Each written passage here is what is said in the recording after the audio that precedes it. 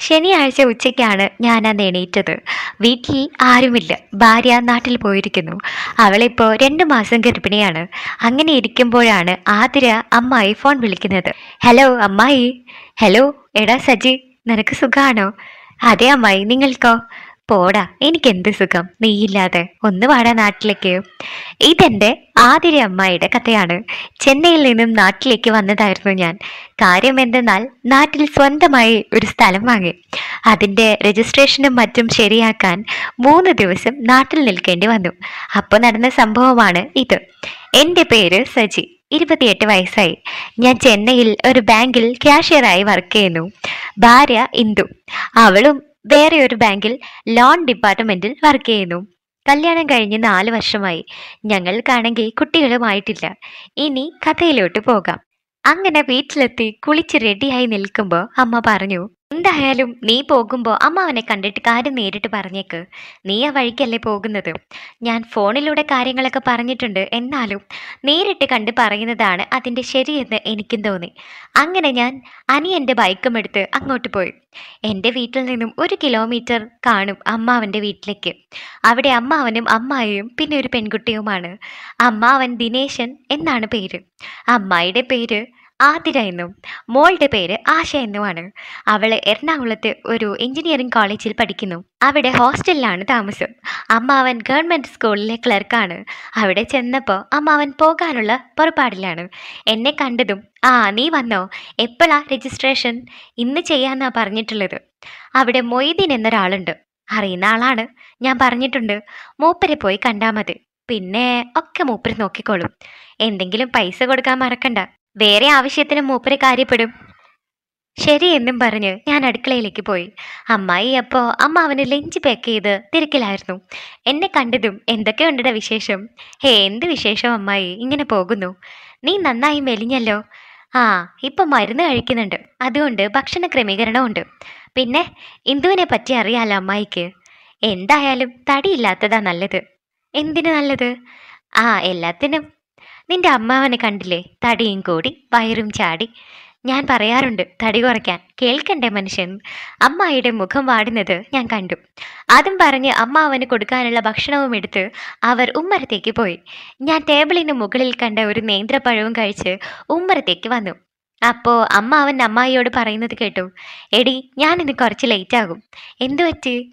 സ്കൂളിലെ ആവശ്യത്തിന് ഇന്ന് ചിലപ്പോൾ തിരുവനന്തപുരം വരെ പോകേണ്ടി വരും. ഉറപ്പൊന്നുമില്ല. എന്തായാലും വിളിക്കാം.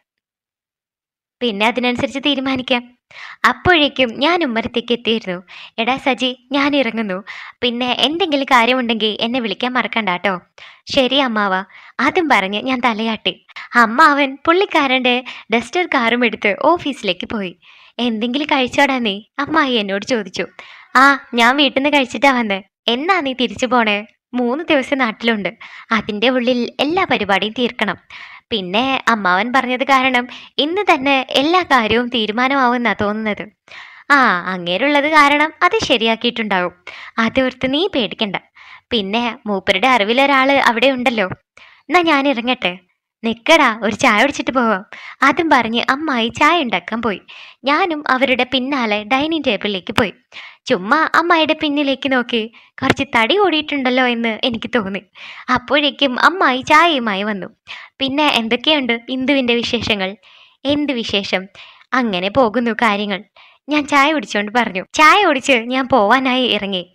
നേരെ രജിസ്റ്റർ ഓഫീസിലേക്കാണ് പോയത്. അവിടെ ചെന്ന് മൊയ്തീനൊക്കെ തിരക്ക്. മൂപ്പരപ്പോൾ വേറൊരു ടീമിന്റെ ഒപ്പം അവർക്ക് വേണ്ട ഹെൽപ്പൊക്കെ ചെയ്യായിരുന്നു. ഞാൻ നേരെ മൂപ്പരെ പോയി കണ്ടു. മൊയ്തുക്കാന്റെ ഒപ്പം ഞാനും ഓഫീസിന്റെ അകത്തേക്ക് പോയി. മൂപ്പര് പറഞ്ഞ പോലെ ആർക്കാർക്കൊക്കെ എന്തൊക്കെ കൊടുക്കണോ അതെല്ലാം കൊടുത്ത് അവസാനം കാര്യങ്ങളെല്ലാം ഭംഗിയായി നടന്നു. രണ്ട് മണിയായപ്പോഴേക്കും രജിസ്ട്രേഷൻ പണി കഴിഞ്ഞിരുന്നു. ഞാനും മൊയ്തുക്കയും പുറത്തേക്ക് വന്നു. ഞങ്ങൾ ഒരു ഹോട്ടലിൽ കയറി ബീഫ് ബിരിയാണിയും ചിക്കൻ പൊരിച്ചതും ബീഫ് റോസ്റ്റും ഒക്കെ കൂട്ടി കഴിച്ച് ഒടുക്കം ഒരു ലൈം ടീയും കഴിച്ച് പുറത്തിറങ്ങി. പോകാൻ നേരം ഞാൻ രണ്ടായിരത്തിന്റെ ഒരു നോട്ട് നോട്ടെടുത്ത് ഇക്കാന്റെ കയ്യിൽ കൊടുത്തു. ഏയ് ഈ പരിപാടിയൊന്നും വേണ്ട.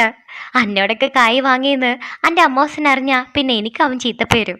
ഇച്ചി പോയിക്കോ അവിടുന്ന്. ഞാൻ ചിരിച്ചുകൊണ്ട് പറഞ്ഞു. ഇക്ക അമ്മാവൻ തന്നെ പറഞ്ഞ് എല്ലാം കഴിഞ്ഞ് പോകുമ്പോൾ ഇക്കാക്ക് സർവീസ് ചാർജ് കൊടുക്കാൻ. ആ അന്നായിക്കോട്ടെ നീ ഞമ്മളായിട്ട് വാങ്ങാണ്ടിരിക്കണില്ല. തന്നോളി. അത് പറഞ്ഞ് മൊയ്തിക്ക എന്റെ കയ്യിൽ നിന്നും കാശ് വാങ്ങി. ഉപ്പരോട് താങ്ക്സും പറഞ്ഞ് ഞാൻ തിരിച്ച് വീട്ടിലേക്ക് പോകുന്നു. വരുന്ന വഴിക്ക് അമ്മ അവനെ വിളിച്ച് കാര്യങ്ങളൊക്കെ പറഞ്ഞു. സാധാരണ ഞാൻ നാട്ടിലെത്തിയ എന്റെ പഴയ കമ്പനിക്കാരുടെ കൂടെ വെള്ളമടി പാർട്ടിയും ഒക്കെ ആയിട്ടാണ് കറങ്ങാറ്. അതും രാവിലെ തന്നെ തുടങ്ങും. പക്ഷേ ഇപ്രാവശ്യം ഞാൻ പറഞ്ഞിരുന്നു രജിസ്ട്രേഷൻ കഴിഞ്ഞിട്ട് കൂടാമെന്നും.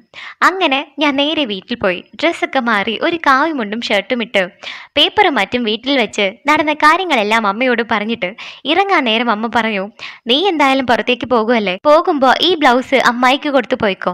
ഇത് തന്നിട്ട് കുറച്ച് നാളായി. രാവിലെ പോകുമ്പോൾ ഞാനത് തരാനും മറന്നു.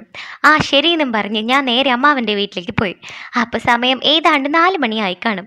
അവിടെ ചെന്നപ്പോൾ അമ്മായി സീരിയലും കണ്ടുകൊണ്ടിരിക്കുന്നു ഞാൻ കയറി ചെന്ന് ഒടുക്കത്തെ സീരിയൽ എവിടെ പോയാലും ഇതാണല്ലോ എന്നും പറയുന്നത് കേട്ടാണ് അമ്മായി തിരിഞ്ഞു നോക്കിയത്. ഒരു ഓറഞ്ച് കളർ സാരിയാണ് അമ്മായിയുടെ വേഷം. അഞ്ചരയടി ആവറേജ് ശരീരം. ആ നീ വന്നോ. എന്തായി പോയ കാര്യങ്ങൾ? കാര്യങ്ങളൊക്കെ ഞാൻ അമ്മായിയോടും പറഞ്ഞു. അങ്ങനെ അവിടെ ഇരുന്ന് അമ്മായിയോടും കുറച്ച് നേരം സംസാരിച്ച് ചായയും കുടിച്ച് ബ്ലൗസും കൊടുത്ത് ഞാൻ അവിടെ നിന്നും കൂട്ടുകാരെ കാണാനിറങ്ങി. ഞങ്ങൾ അങ്ങനെ ആർമാദിച്ച് വെള്ളമടിച്ചുകൊണ്ടിരിക്കുമ്പോൾ ഒരു കൂട്ടുകാരൻ ഫോൺ വന്നു. അവനതും പിടിച്ച് കുറച്ച് അപ്പുറത്തേക്ക് പോയി. അപ്പോഴേക്കും ഞങ്ങൾ അവിടെ സംസാരിച്ചും വെള്ളമടിച്ചും ആഘോഷിക്കുകയായിരുന്നു. ഒരു പത്ത് മിനിറ്റ് കഴിഞ്ഞപ്പോൾ അവൻ തിരിച്ചു വന്നു. എട പാണി പാളി. കണ്ണൂരിലെ ഏതോ പാർട്ടി നേതാവിനെ വിട്ടി. അങ്ങനെ ബാക്കിയുള്ള കുപ്പിയും തീർത്തിട്ട് എല്ലാവരും അവരവരുടെ വീട്ടിലേക്ക് പോയി. ഞാനും വീട്ടിലേക്ക് എത്തി. ടി വിയിൽ ന്യൂസ് കണ്ടുകൊണ്ടിരുന്നു. ന്യൂസിലാണെങ്കിൽ ഹർത്താലിന്റെ ശക്തി കൂടി കൂടി വരികയാണ്. അങ്ങനെ വാർത്ത കണ്ടിരിക്കുമ്പോഴാണ് അമ്മയ്ക്ക് ഒരു കോൾ വരുന്നത്. ഞാൻ നോക്കിയപ്പോൾ അമ്മായിയാണ് വിളിക്കുന്നത്. ഞാനത് അമ്മയ്ക്ക് കൊടുക്കുകയും ചെയ്തു. അമ്മ ഫോൺ എടുത്ത് വീടിന് പുറത്തേക്ക് പോയി. കുറച്ച് കഴിഞ്ഞ് അമ്മ തിരിച്ചു വന്നു. ഞാൻ ചോദിച്ചു എന്തിനാ അമ്മ അമ്മായി വിളിച്ചത്? അമ്മാവൻ തിരുവനന്തപുരത്താണെന്ന്. ഇന്നിപ്പോൾ വരാൻ പറ്റില്ലെന്നാ പറഞ്ഞ്. അതുകൊണ്ട് നിന്നോട് അവിടെ കൂട്ടുകിടക്കാൻ ചെല്ലാമോ? എന്ന് ചോദിച്ചു. എന്താ നീ പറയണേ? അതിനെന്താ? ഞാൻ പോയിക്കോളാം. എന്തായാലും പ്രത്യേകിച്ച് പണിയൊന്നും ഇല്ലല്ലോ ഒരു ഒൻപത് മണിക്ക് ഞാൻ എത്തിക്കോളാം എന്ന് പറഞ്ഞേക്കമ്മ. അത്രയും നേരം ടി വി കണ്ട് ഞാനിരുന്നു. അപ്പോഴേക്കും കുടിച്ച ബിയറിന്റെ കിക്കൊക്കെ ഇറങ്ങിയിരുന്നു. എടാ നീ പോണില്ലേ? സമയം ഒമ്പത് കഴിഞ്ഞു. അമ്മ വന്ന് വിളിച്ചപ്പോഴാണ് എനിക്ക് സമയം പോയത് അറിഞ്ഞത്. വേഗം എണീറ്റ് ബാഗിൽ നിന്നും ബ്രഷും തോർത്തും ബൈക്കും എടുത്ത് നേരെ അമ്മാവന്റെ വീട്ടിലേക്ക് പോയി. പോകുമ്പോൾ തന്നെ രാവിലെ അമ്മായിയുടെ രൂപം മനസ്സിലോടി വന്നു. അതിന്റെ എഫക്റ്റ് എനിക്ക് തിരിച്ചറിയാനും പറ്റി. ഒന്ന് മൂടായി വന്നപ്പോഴേക്കും വീടെത്തി. ഞാൻ വണ്ടി ഒതുക്കി നേരെ പോയി ബെല്ലടിച്ചു. രാത്രി ആയോണ്ട് വാതിൽ അടച്ചിരിക്കുകയായിരുന്നു അമ്മായി വന്ന് വാതിൽ തുറന്നു. ആ നീ വന്നോ? ഒൻപത് മണിക്ക് വരാന്ന് പറഞ്ഞിട്ട് ഇപ്പൊ ഒമ്പത് മുപ്പതായല്ലോ ഞാനൊന്ന് കുളിക്കണമെന്ന് വിചാരിച്ചിരിക്കുകയായിരുന്നു. ഇനി ഏതായാലും നീ വന്നിട്ടാകാമെന്ന് വിചാരിച്ചു. അതേതായാലും നന്നായി. അല്ലെങ്കിൽ പിന്നെ ഞാൻ പുറത്ത് നിൽക്കേണ്ടി വന്നേന്. അതും പറഞ്ഞ് ഞാൻ ചിരിച്ചു.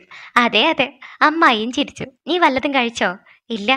എന്നാ ഒരുമിച്ച് കഴിക്കാം. ഞാനൊന്ന് കുളിച്ചിട്ട് വരാം. അത് കഴിഞ്ഞ് ഞാനും ഒന്ന് കുളിച്ചു. അങ്ങനെ ഞങ്ങൾ ഭക്ഷണം കഴിക്കാനിരുന്നു. ചപ്പാത്തിയാണുള്ളത്. സംസാരിച്ചുകൊണ്ടിരുന്നപ്പോൾ ഭക്ഷണം കഴിക്കുന്നത് അറിഞ്ഞതേയില്ല. പെട്ടെന്നാണ് കറണ്ട് പോയത്. ചേ നാശം. ഈ ഹർത്താലായതുകൊണ്ടാവും ഇവന്മാർ കറണ്ട് കട്ട് ചെയ്തിട്ടുണ്ടാവുക. ആയിരിക്കും. അല്ലാണ്ട് സാധാരണ മഴയുണ്ടാകുമ്പോഴാ പോകാറ്. അതും പറഞ്ഞതും മഴ ചാറിയതും ഇടി വെട്ടിയതും ഒരുമിച്ചായിരുന്നു. അയ്യോ ഇത് മഴ വന്നതിന്റെ കറണ്ട് കട്ടാ മോനെ. ഇനി നാളെ നോക്കിയാൽ മതി കറണ്ടിന്. അമ്മായി കിടക്കാൻ പാ